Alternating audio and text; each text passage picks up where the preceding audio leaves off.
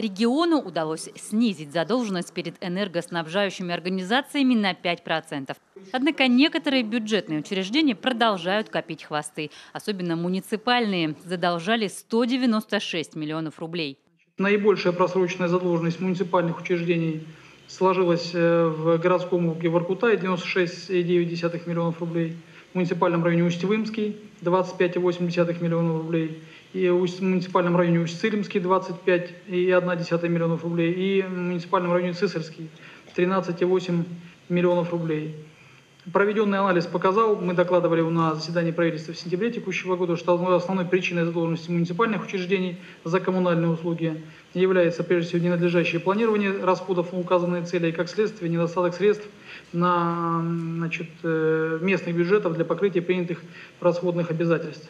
Не заплатили по счетам и учреждения Минздрава, и это несмотря на достаточные субсидии из бюджета республики. Более 900 миллионов рублей в этом году, более миллиарда запланировано на следующий.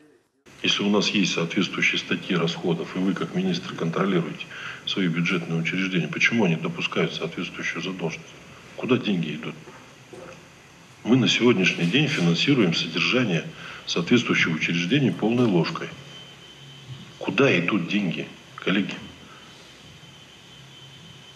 вы что, не проводите балансовых комиссий? Что не выясняете, в каком состоянии, куда идут деньги? Или чем вы занимаетесь тогда? Значит, коллеги, я еще раз предупреждаю, вот такой ситуации я больше не потерплю.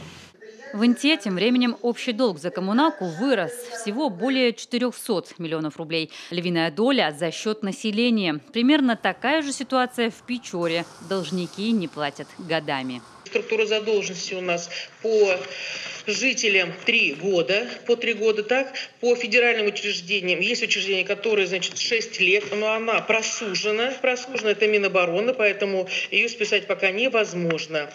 По республиканским у нас задолженность только текущая. В регионе уже организован ежемесячный мониторинг структуры задолженности за коммуналку. До 15 ноября ведомствам и муниципалитетам дано задание проанализировать долги населения и бюджетных учреждений. Кто, сколько, почему и с какого периода не платит по счетам. Ольга Коняева, Дмитрий Ведерников, телеканал «Юрган».